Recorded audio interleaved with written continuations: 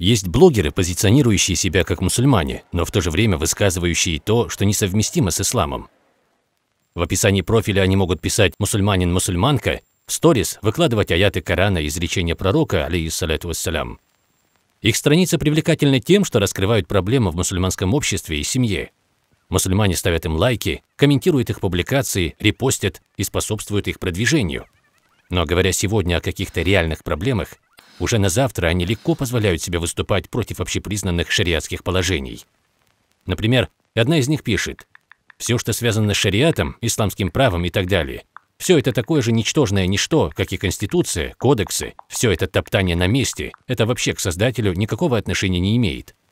Ее слова – куфр, неверие и выход из ислама. Сколько бы она ни называла себя мусульманкой, она ей уже не является. Это стадия, когда человек явно продемонстрировал свое отношение к исламу. Такие люди пытаются исказить религию и адаптировать ее под свои личные предпочтения. Некоторые блогеры делают это не столь очевидно, ведь иначе потеряют аудиторию. Они находят проблемный вопрос, говорят о нем часто преувеличивая, а затем тонко намекают на то, что дело не в мусульманах, а в самой системе, то есть в исламе. Уже завтра они заявят, что хиджаб – это притеснение женщины, а шариатские запреты устарели и неактуальны.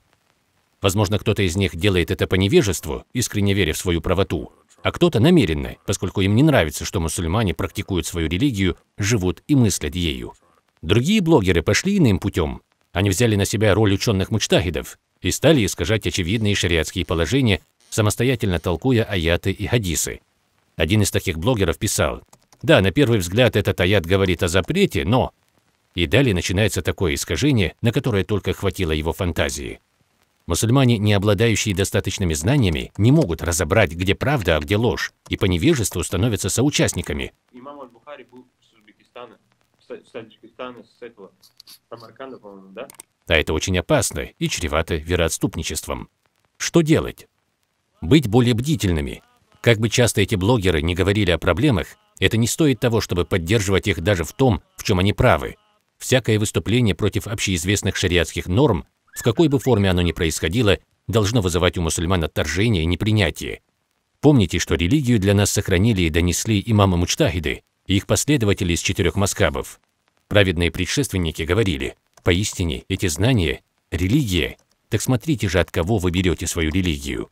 Да сохранит нас Аллах от неверия и заблуждений.